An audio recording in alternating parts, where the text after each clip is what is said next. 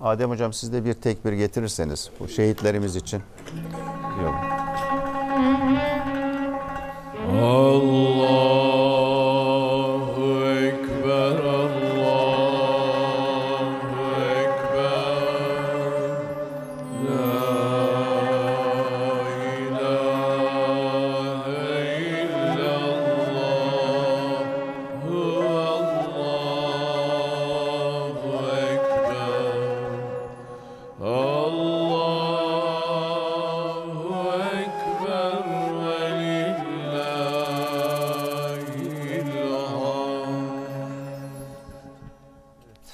Allah büyüktür. Allah en büyüktür. Rabbim yardımcımız olsun memleket olarak, millet olarak. Telefonumuz varmış. Selamünaleyküm. Aleykümselam hocam hayırlı akşamlar, hayırlı iftarlar, hayırlı sahurlar Hayırlı dilerim. sahurlar efendim. Buyurun. Hocam e, bazen insanın kalp gözü açık oluyor derler ya. Evet. Şimdi kalp gözü açık olduğu zaman insan e, rüya görüyor. İyi rüyalar e, anlatılmalı mı yoksa e, anlatılmamalı mı? E, bir de şunu söyleyecektim hocam. Ben nenem, e, beni büyüten nenem vardı. E, annemi ben 5 yaşına kaybettim, görmedim. E, nenem e, vefat ettikten sonra belli bir süre sonra ben rüyama geldi. Hı.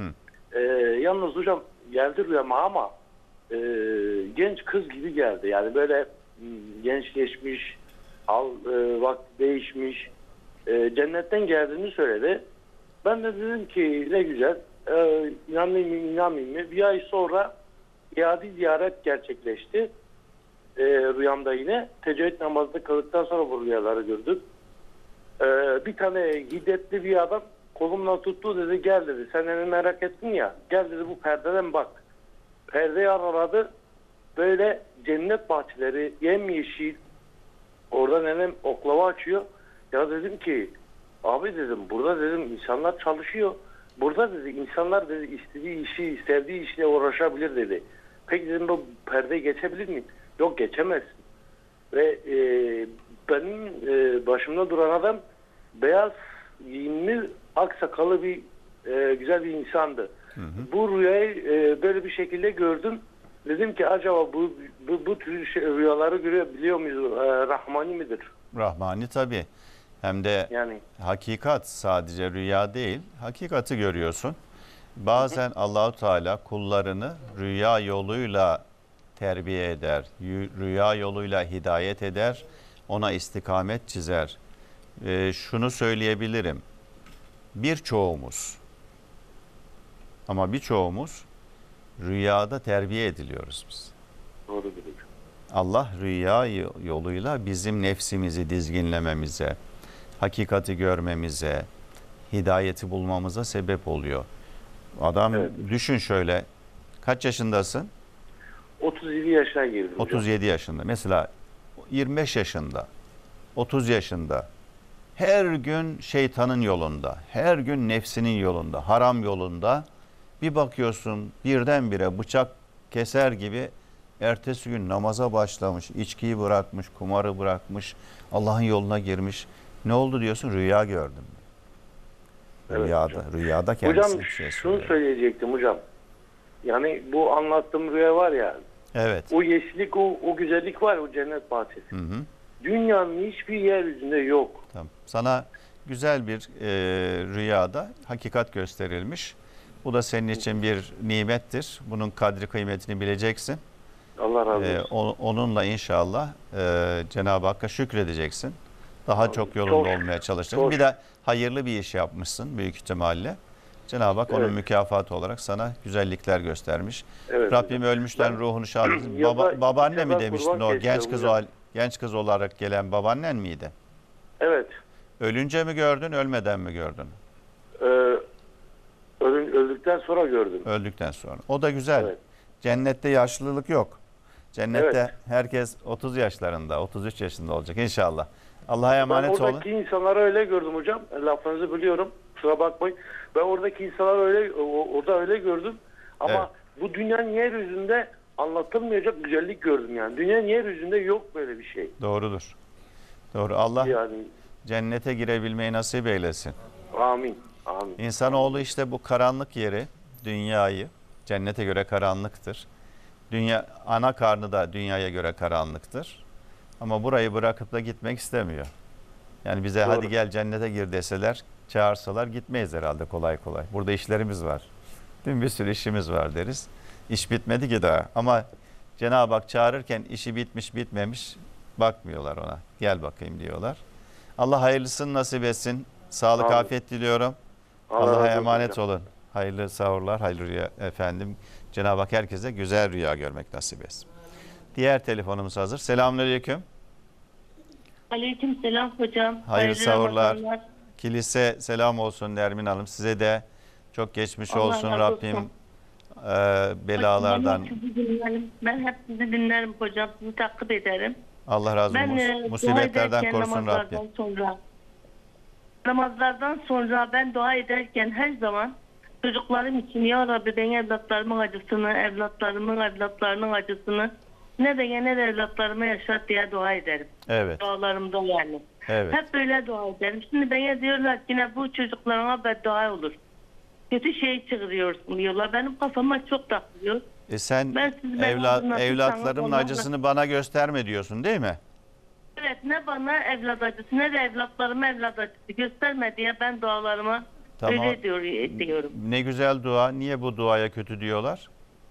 Bana diyorlar ki ne kötüyü çığırıyorsun. Ben çocuklarıma karşı kendimi şey diyorum yani. Kötü mü çıkıyor? yani. Kötü mü çıkıyor diyorlar? Evet kötüyü çığırıyormuşum ben. Kötü, Kötü- şeyi çığırıyormuşum Sen yani. iyiyi çağırıyorsun, kötüyü çağırmıyorsun. İyiyi çağırıyorsun. Niye? Biz de dua ediyoruz. Allah kimseye evlat acısı vermesin. Zor, en dünyanın en büyük imtihanları. Niye? Ben dedim ya Rabbi beni bundan imtihan etme. Tabii. Ben annem öldü, genç babam öldü, öksüz kaldım. Ya Rabbi dedim e, torunlarımın hiçbirini de öksüz koyma. Ay. Ananı babalı büyüt, ananı babalı gelin güvey et diye. Güzel. Böyle dua ederim ben. Çok güzel Bu dua ediyorsun. çığır- Çok güzel dua ediyorsun. Onu kimse e, yanlış demesin. Güzel dua ediyorsun. Allah dualarını kabul etsin. Başka sorun var mı? Ya yok hocam sağ ol Peki. teşekkür ederim. Allah razı olsun. Kilis'te depremsiz yaşadınız mı? Sıkıntı oldu mu? Evet deprem yaşadık. Ben onda bir daha ben bunu da söyleyeceğim. Heh. Çok sağ ol hocam. Ben şükür namazı kıldım. Ya Rabbi dedim. Çocuklarımın evini yerinde koydum. Bana e, acı acısı vermedin. Şükür namazı kıldım ben. Hayır bu da şükür etmek de yani bir şey değilmiş. Yani iyi değilmiş. Hasbunallah ve ni'mel vekil. Sen de ne yapsan birileri karşı çıkıyor. Seni Evet çekemeyen böyle deyince ben koca çoğaldı hocam koca çoğaldı. Allah sizin gibi kocalar eksik etmesin Rabbim. e, yarım hoca dinden eder, yarım doktor candan eder. Boşuna dememişler. Neyse sen Evet. e, sevdiğin, ciddi bildiğin hocaları takip et. Onları ok, kitaplarını oku, onları dinle inşallah. E, ilmi olmayan, Allah. irfanı olmayanların sözlerini kale almayacaksınız. Herkes her şeyi söyleyebilir. Allah yardımcın olsun. Cenab-ı Hak hocam. hep böyle şükür secdeleri nasip etsin sana inşallah. Çok sağ ol hocam. Evet, Allah razı WhatsApp olsun. sorularımız var. Onlarla devam ediyoruz. Hocam merhaba. Biz depremzedeyiz.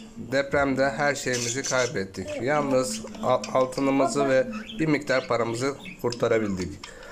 Bunların zekatını verecek miyiz? Teşekkür ederim. Dinen zengin sayılan kişiler kimlerdir?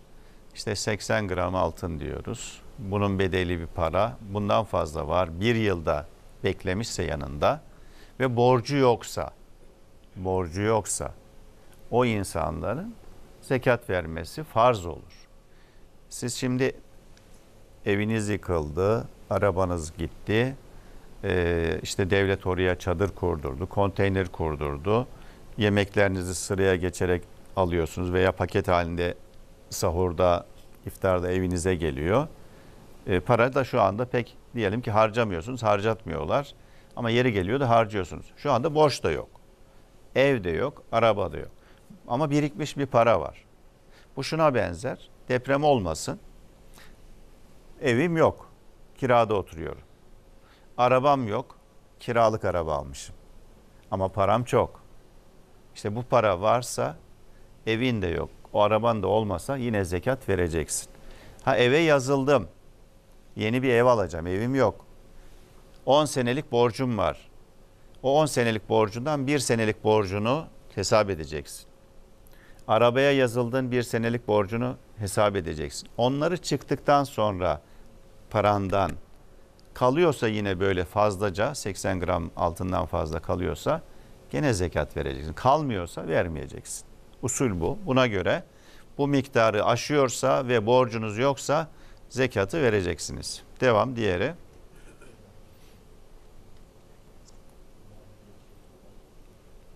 Selamun Aleyküm hocam. Aleykümselam. Hayırlı yayınlar. Benim 91 yaşında bir annem var. Annem 5-6 yıldan beri Alzheimer hastası. Sağlık yönden de e, tam sağlığında yerinde değil. Hem akıl sağlığından hem de e, vücut sağlığından dolayı orucunu tutamıyor. E, bu akıl sağlığından dolayı tutamadığı orucun için fidye, fidye vermemiz gerekiyor mu, gerekmiyor mu?